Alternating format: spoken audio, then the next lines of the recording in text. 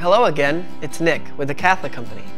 And today I have our Miraculous Medal and Miraculous Medal prayer card. This Miraculous Medal prayer card and necklace combination could make for the perfect little gift for your loved ones. A reviewer from Virginia gave this stunning gift to their daughter and grandchildren during a very hard time, and it helped them focus on the goodness of God.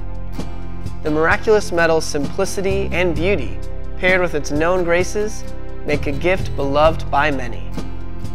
Thanks for watching, and God bless.